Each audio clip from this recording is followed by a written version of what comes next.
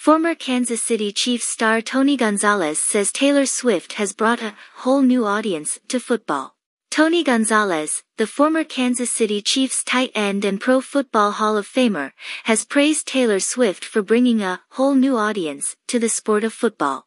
Gonzalez, who is now an analyst for Amazon Prime Video, was referring to the rumors that Swift is dating Travis Kelce, the current Chiefs tight end and two-time Super Bowl champion. Gonzalez tried to get some scoop on the Kelce Swift relationship during the post-game show of the Thursday night football kickoff that saw the Philadelphia Eagles defeat the Minnesota Vikings 34-28. Gonzalez asked Jason Kelce, the Eagles center and Travis brother, about the reports linking his sibling to the 12-time Grammy winner. I have a 15-year-old daughter, and she's a fan of a certain pop star.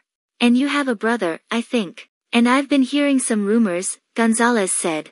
Jason Kelce, however, did not confirm or deny the rumors, saying that he could not comment on them and that he did not know what was going on with Travis' love life. Travis Kelce, who is an unabashed Swiftie, previously admitted to trying, and failing, to shoot his shot with the pop star during one of her concerts.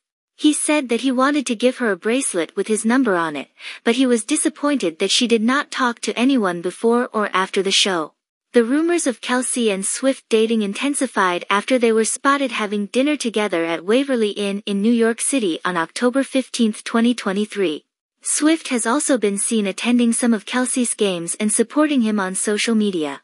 Gonzalez, who played for the Chiefs from 1997 to 2008 and holds the franchise record for most receptions, 916, said that he was happy for Kelce and Swift, and that he thought they were good for each other and for the game of football.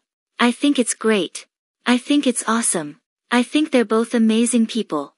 And I think it's good for football too. It brings a whole new audience to the game, Gonzalez said. I mean, Taylor Swift fans are probably watching football now because of Travis Kelce. And maybe some football fans are listening to Taylor Swift's music because of him.